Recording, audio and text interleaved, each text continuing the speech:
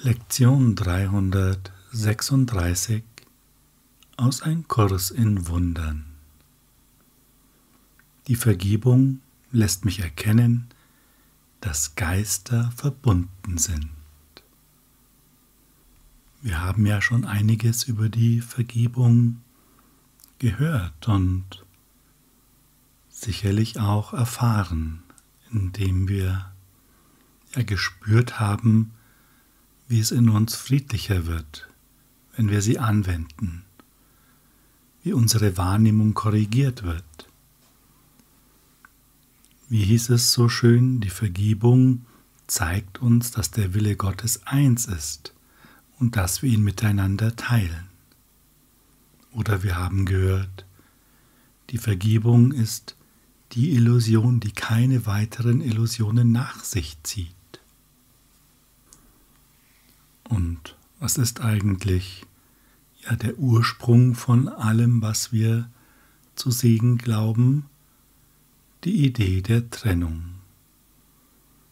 Und wenn diese Idee bereinigt ist in dem Sinne, dass wir erkennen, es gibt sie gar nicht wirklich, gibt es keine Trennung. Und wenn es keine Trennung gibt, dann müssen wir wohl verbunden sein, oder? Schauen wir doch mal, was die Lektion sagt. Die Vergebung ist das Mittel, das zur Beendigung der Wahrnehmung bestimmt ist. Die Erkenntnis ist wiederhergestellt, nachdem die Wahrnehmung zuerst verändert wird und dann dem völlig weicht, was ewig weit jenseits ihrer höchsten Reichweite bleibt. Das ist total, ja, spannend oder wie soll ich sagen, ein bewegend, denn es geht nochmal einen großen Schritt über das hinaus, was wir bisher vernommen haben. Vergebung war bisher, ja, die Korrektur unserer Wahrnehmung. Und jetzt wird uns gesagt, es ist die Beendigung der Wahrnehmung. Und die Beendigung der Wahrnehmung ist ja dann die Erkenntnis. Und Erkenntnis ist Erlösung. Denn dann ist die Wahrheit vollumfänglich wieder in unserem Geist präsent. Wir können also das Mittel der Vergebung gar nicht hoch genug einschätzen. Es ist total essentiell. Ich meine, das haben wir ja vorher jetzt auch schon irgendwie gewusst. Doch jetzt wird ja die Messlatte doch noch mal ganz schön hoch gehängt. Ohne Vergebung keine Erlösung. Total einfach. Es ist das Mittel zur Beendigung der Wahrnehmung. Wow. Und es geht weiter. Anblicke und Geräusche können bestenfalls dazu dienen, die Erinnerung an das wieder wachzurufen, was jenseits ihrer aller liegt. Die Vergebung fegt Verzerrungen hinweg, und öffnet den versteckten Altar der Wahrheit. Ja, das ist auch noch einmal schön beschrieben. Wir sind ungetrennter Teil von Gottes Geist. Jetzt. Doch wir erkennen es nicht, weil wir unsere ja, Sicht eingeschränkt haben, sagen wir es mal so. Wir haben Bilder gemacht, wir haben Geräusche gemacht und das verstellt uns den Blick, denn wir glauben ja, dass das wahr ist. Stell dir einmal vor, du bist in einem fantastischen, riesigen Raum mit den wunderbarsten Dingen und allem, aber du hast dir in diesen Raum jede Menge Stellwände reingestellt um dich herum, recht eng. Dann hast du noch einen Kopfhörer auf und spielst dir irgendwas ein. Und jetzt ist von diesem fantastischen Raum nichts mehr zu sehen. Du denkst, du bist ganz woanders. Denn du erinnerst dich nicht mehr daran, dass du dir Vorstellungen, also Stellwände, die vor der Wahrheit stehen, gemacht hast. Das wäre jetzt so mal das Bild. Und durch das Praktizieren der Vergebung verschwinden die Stellwände Stück für Stück, ganz sanft und leicht, oft subtil. Wir bekommen es gar nicht so mit, dass da schon wieder ein Stückchen Stellwand verschwunden ist. Doch dann und wann merken wir es, denn es geht uns besser, es wird leichter, wir spüren den großen, weiten, endlosen Raum. Was sagt die Lektion weiter? Die Lilien des Altars der Wahrheit leuchten in den Geist und rufen ihn zurückzukehren und nach innen zu schauen, um das zu finden, was er vergeblich außen suchte denn hier und nur hier wird der Geistesfrieden wiederhergestellt, weil hier die Wohnstatt Gottes selbst ist. Hier hilft uns dieses Bild mit den Stellwänden nicht weiter, denn jetzt wird die Betrachtungsebene verändert und es wird uns gesagt, Schau nach innen. Denn nur hier finden wir den Frieden und das ist das Ziel, das wir eigentlich suchen. Wir alle haben den sehnlichsten Wunsch nach Frieden. Und falls jetzt der Gedanke auftaucht, das kann aber nicht stimmen, weil es gibt ja hier schon einige auf diesem Planeten, die sehen gar nichts aus, als ob sie Frieden wollen, sondern genau das Gegenteil. Vorsicht! Beachte, dass es deine Projektion ist, deiner heimlichen, unerlösten Gedanken. Und wir sehen es, um es zu vergeben, damit eben die ganzen Verzerrungen endlich gelöst werden, gelöscht werden.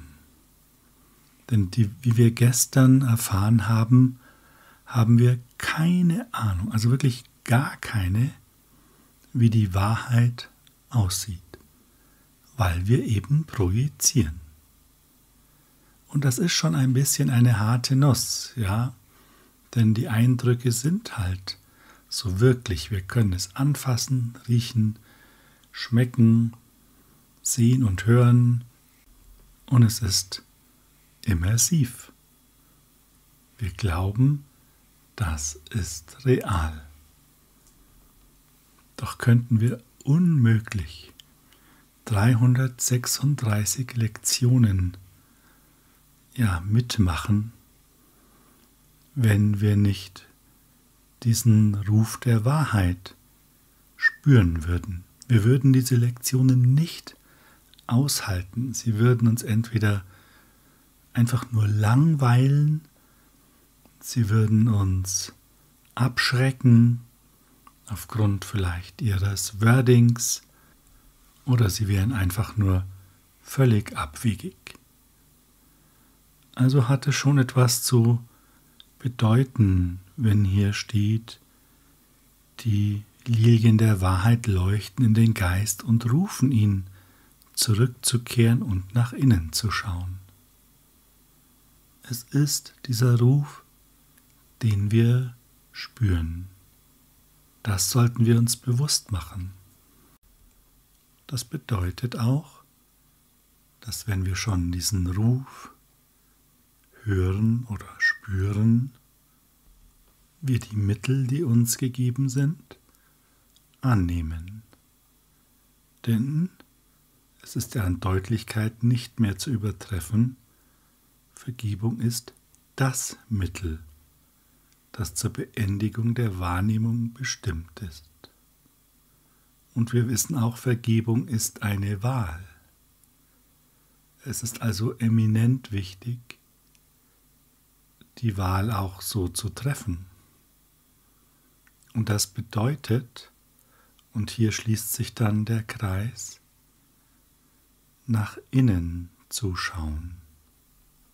Vergebung ist kein Ritual, das käme mehr so aus dem Verstand, sondern es entsteht aus deiner inneren Bereitschaft, dem inneren Zurücktreten und dann geschieht es aber auch praktisch von selbst, denn es reicht, dass wir zurücktreten. Das ist alles. Doch dieses Zurücktreten hat es manchmal in sich, weil wir so in unseren Gedanken verstrickt sind, weil eine Geschichte nach der anderen kommt. Und diese Geschichten haben nur einen Zweck, uns abzulenken. Sie verfolgen das Ziel, dass wir eben nicht nach innen schauen, nicht zur Ruhe kommen, sondern permanent in eine von der einen Geschichte in die nächste hineingehen. Das ist so, wie wenn der Fernseher die ganze Zeit läuft und irgendwie findet man den Ausknopf nicht so richtig, denn da kommt eins nach dem anderen und das eine ist schon gar nicht richtig zu Ende, da wird das nächste schon angeteasert oder irgendwelche Cliffhangers erzeugt und dann wollen wir wissen, wie es weitergeht. Und wie himmlisch ist doch die Ruhe, wenn wir den Fernseher dann endlich ausmachen. Und genauso ist es hier. Wir brauchen diese Bereitschaft, nach innen zu schauen, oder besser gesagt die Entscheidung, nach innen zu schauen, und damit verknüpft ist die Bereitschaft, zurückzutreten, ganz automatisch. Und das Ausmaß, wie es dir schwerfällt, das zu tun, zeigt dir sozusagen das Ausmaß des inneren Widerstandes an. Das heißt aber nicht, dass das deswegen hoffnungslos ist. Auf keinen Fall, denn die Angst hat keinen Willen. Und so hat auch jede Illusion keinen Willen. Es sieht nur so aus, weil wir daran glauben und sozusagen unsere Kraft der Illusion übertragen. Doch kann das jederzeit gestoppt werden, wenn du sagst, ich brauche das nicht mehr. Mir reicht es jetzt. Dann beginnt sich etwas zu verändern und vielleicht muss es oft wiederholt werden. Und vielleicht brauchst du dazu auch die Hilfe unseres inneren Lehrers, indem du sagst, Heiliger Geist, hilf du mir, ich komme hier nicht weiter, ich habe keine Chance. Und dann wird etwas passieren, denn die Wahrheit nimmt sofort den Platz ein, den du freigibst. Es braucht keine Zeit. Und jedes Stückchen, das du freigibst, ist etwas, das geheilt wird. Der Ego-Geist ist wachsam und hartnäckig, denn es geht um dessen scheinbare Existenz dann sollten wir auch wachsam und hartnäckig sein, denn es geht um unsere wahre Existenz. Nicht, dass sie bedroht werde, doch dass wir sie endlich erkennen. Und vielleicht magst du dich einmal fragen, wo erzähle ich mir selbst noch Geschichten? Und Geschichten sind das, was das Wort sagt. Eine vergangenheitsbezogene Erzählung, die als wahr erscheint. Und das ist ein gutes Erkennungsmerkmal. Immer wenn es um die Vergangenheit geht oder um Begründungskaskaden, warum etwas so ist, wie es ist, dann sind wir in einer Geschichte. Und das sollten wir sofort stoppen, denn das ist nicht von Interesse. Von Interesse ist einzig und allein der Trigger oder das, was dich ärgert, dir Sorge bereitet oder Angst macht, nicht die Geschichte dahinter. Und wenn du dich auf diesen Punkt konzentrierst, um was geht es? Was ist die Wut, der Ärger, die Angst, die Sorge, die Verzweiflung, dann kannst du genau diesen Punkt der Wahrheit überführen, indem du sagst, Heiliger Geist, zeige du mir die Wahrheit und das spürst. Es ist wichtig, innerlich loszulassen, nicht vom Kopf her. Der Kopf erzählt irgendwas, ja, ja, ich habe schon losgelassen und hier und jetzt und schauen wir mal und funktioniert aber nicht. Der Kopf ist eher ein Vertreter des Ego-Denksystems. Ich will das nicht so ultimativ formulieren, weil ich es nicht genau weiß, ganz ehrlich gesagt aber es fühlt sich so an. Überprüfe das für dich selbst. Da, wo es leicht wird, da, wo du Freiraum spürst. Dies ist der richtige Ort, aus dem heraus wir Vergebung praktizieren. Und das wird uns sicher zum Ziel bringen denn es ist so bestimmt. Das ist doch mega stark.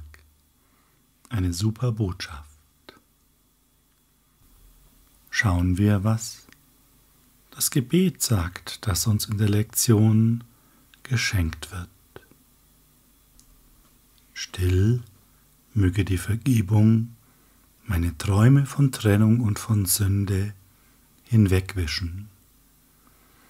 Und dann, Vater, lass mich nach innen schauen und feststellen, dass dein Versprechen meiner Sündenlosigkeit gehalten ist, dein Wort in meinem Geiste unverändert bleibt und deine Liebe nach wie vor in meinem Herzen weilt. Und das können wir direkt erleben. Wir müssen jetzt nicht glauben, dass das erstmal ein Prozess von tausend Jahren ist, bis die Vergebung die Träume von Trennung und Sünde gelöst hat. Und dann, also erst danach, schauen wir nach innen. Es ist eins. Es ist ein Vorgang, und du kannst es spüren. Immer wenn du den Frieden in dir spürst, spürst du auch die Sündenlosigkeit in dir, denn du könntest sonst keinen Frieden wahrnehmen. Wie soll das gehen, wenn der Geist belastet ist mit, ja, Schuld? Doch du bist reiner Geist und da ist keine Schuld und deshalb kannst du Frieden spüren. Und du spürst die Liebe, die du bist, die dich erhält, die eins ist mit allem.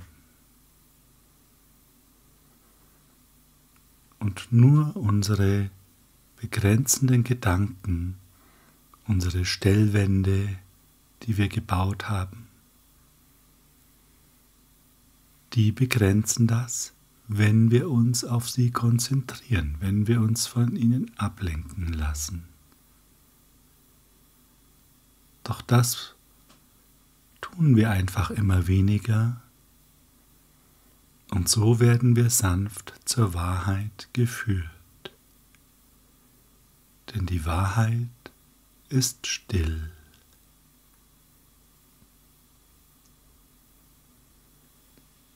Danke für unser gemeinsames Lernen. Danke für dein Einlassen. Hab einen wunderbaren Tag in der Stille deines Herzens. Und diese Stille ist immer da. Sie verlässt dich nie, denn sie ist eins mit dir. Und du kannst das immer wieder überprüfen, indem du dir heute kurze Augenblicke schenkst, in denen du nach innen schaust und sanft die Frage stellst, Heiliger Geist, bist du da?